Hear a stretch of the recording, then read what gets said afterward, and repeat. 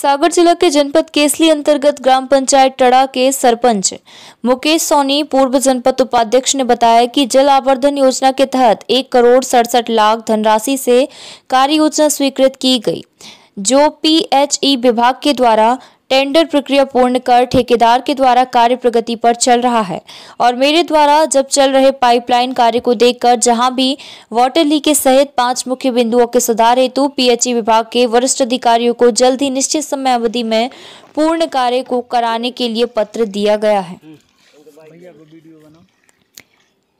जो ग्राम पंचायत टड़ा में ये जल आवर्धन योजना के तहत ये डैम से पाइपलाइन बिछाई गई थी ग्राम टड़ा के जी जी जी। तो ये कितने राशि से स्वीकृत की गई थी? और इसमें जो भी जगह जगह से लीकेज सोशल मीडिया के माध्यम से हम लोगों को जानकारी प्राप्त हुई है इसमें आपका क्या कहना है? हाँ अमित भाई पहले तो आपका बहुत बहुत धन्यवाद जो आप लोग ये बात उठा रहे हैं।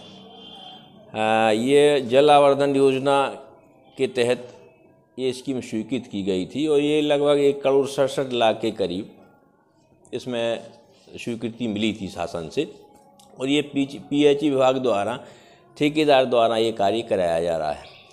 इसमें अभी चूँकि ठेकेदार का कार्य प्रगति पे है, और काम चल भी रहा है, अभी कहीं कहीं जो लाइन वीक हो गई है मतलब जो ज्वाइंट वाइंट थे वो खुल रहे हैं। तो उस कारण से थोड़ी परेशानी हो रही है।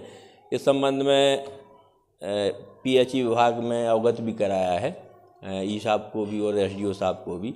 तो उनका कहना है कि इसको बहुत जल्दी इस योजना का सुधार हो जाएगा और लोगों को पानी यथावत मिलने लगेगा। जी अभी जो कार्य योजना स्वीकृत की गई है जी जी। इसमें अभी ये कार्य पूर्ण नहीं हुआ कार्य प्रगति पे और हैंड ओवर भी नहीं की नहीं नहीं अभी ये हैंड ओवर होने का तो खैर सवाल ही नहीं है।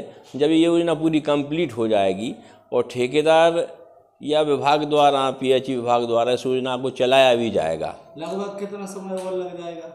अब ये तो अपन नहीं बता सकते, लेकिन अभी कार्य चल रहा है। अभी बहुत सा कार्य अधूरा भी है।